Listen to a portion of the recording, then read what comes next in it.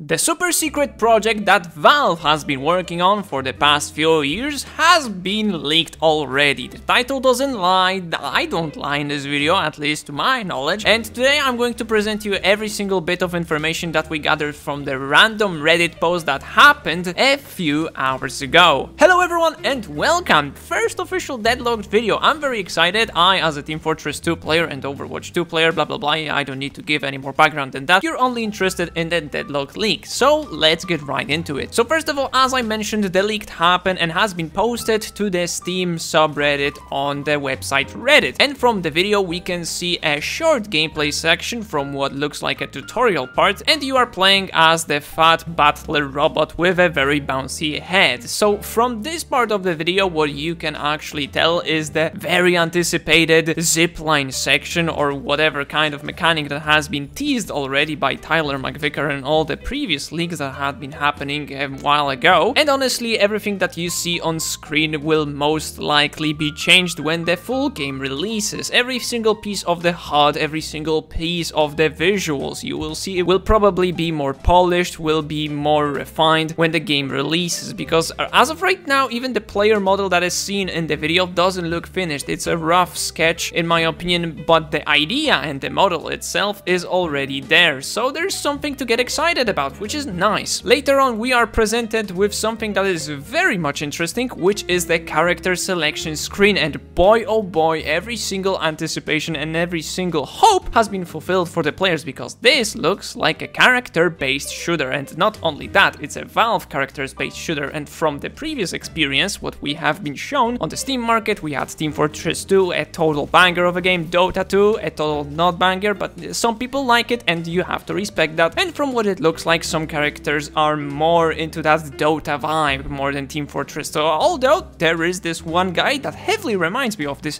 one singular character, but I cannot just point out straight to who. Starting with this weird little vampire creature with an SMG Ivy, we have a bad combination with a war guy, I don't know what it is, but it looks nice. Every single character already looks like it has a certain theme to it. You can easily distinguish every single character from each other, and especially some characters that have a very wide forehead that you will see in a moment. But other than that, you are clearly presented with this idea of every single character having their unique attributes, similar to Dota. And honestly, I'd say that this game looks so far most similar to Dota, not any other IP like Team Fortress 2, but hopefully there will be some TF2 mechanics in there, and maybe perhaps some Overwatch 2 elements, including some Overwatch ults and all of that kind of stuff. I cannot explain much about the characters because there has been only gameplay shown of this fat butler guy with the bouncy head and he has a pistol and a combat role, so there is no gameplay shown from these characters, but as you can see, for a very early project, this already looks like a quite wide roster of playable characters. It might go the Overwatch way, where more characters will be added along the way, similarly to League, similarly to Dota, but who knows, maybe this is the ultimate roster that will stay inside the game for the rest of its lifespan and will be built upon like in Team Fortress 2.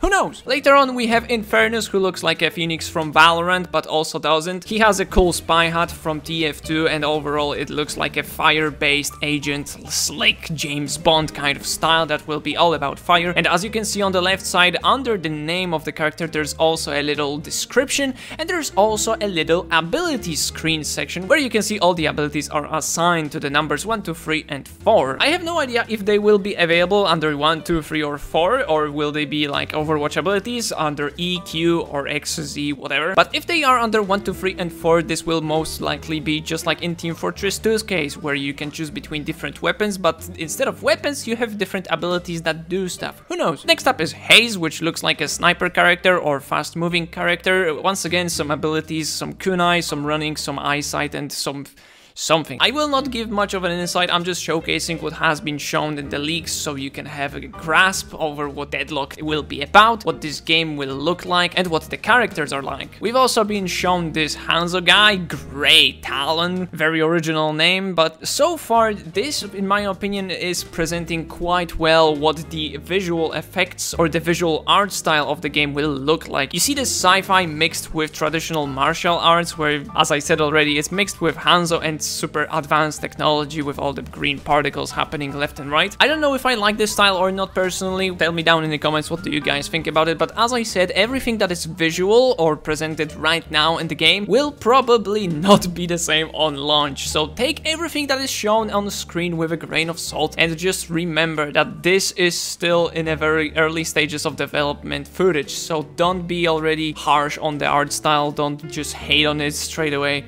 I mean, you can hate on it, I don't mind. Sadly, the leaked footage doesn't show the characters on the far left, but if you zoom in and go to that bottom left section of the character selection screen, you can see this butler that has been seen in the beginning part of this video, which was that bouncy head robot who that had that combat role. There's also this scrappy, rusty looking like robot. I have no idea who this guy might be, but I already vibe with the character design. And on the far left, we have uh, a Dr. Mundo with horns. But next up on the big screen, we have Kelvin, that has a very big assault rifle and a very big backpack. It's once again this weird mix of sci-fi weapons and something traditional, like you have this bear fur, everything on him, you have like this magical stone on his back, like similarly to Rise having this script, he has some kind of a wooden, maybe rocky foundation on his back, I have no idea why. Next up is Lady Geist, who has this green hand and a revolver, a very small revolver compared to the previous guys. Also for a split second, there's not much attention attention to that guy, but you can barely see this kind of weird zombie-like robot mixed creature called Seven. This guy of course has yet another weird weapon that is combined with World War II elements and some electric boogaloo crap. With the chains around his legs it might look like a prison escapee and with the time bomb attached to his face, I mean neck,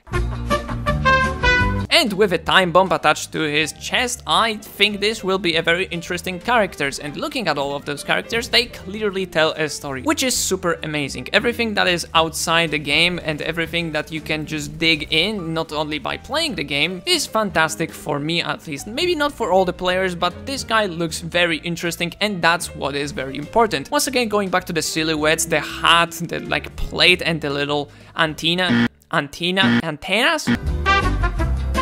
Antennas that are on his head are really selling this characteristic silhouette, and the big shoulder pads also add up to that. Next is a floating lady with a sniper rifle, I really don't know what to say about that. It's a wild mix between Elsa and a quickscoper from 2016. Next up is the very warm welcome to all the Team Fortress 2 fanboys with the character that looks similarly to Soldier, but not quite. He is very evidently a policeman of this universe, you can see the baton on his belt, you can see a very big gun on his shoulder, and you can see a very characteristic British-esque helmet on his forehead. Once again, selling that silhouette thing that I was talking about. This is almost the last character that we're going to talk about, Wraith, which looks like a mafia-esque woman with that Tommy gun that once again looks like a mix between World War II weapons and something straight out of sci-fi. Uniform that is hanging from the second shoulder set and as you can see, yes, this woman has an additional shoulder that is holding some cards or cigarette packets. I have no no idea why,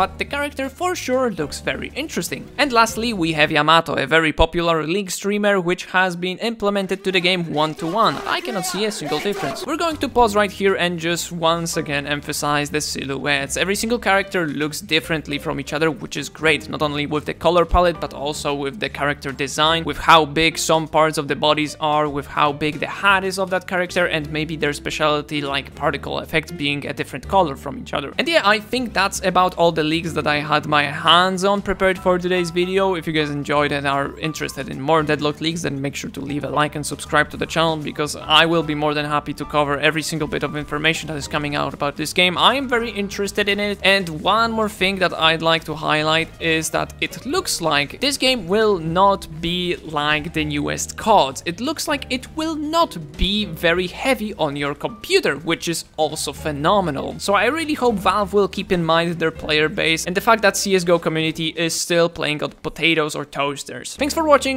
have a lovely day, bye bye.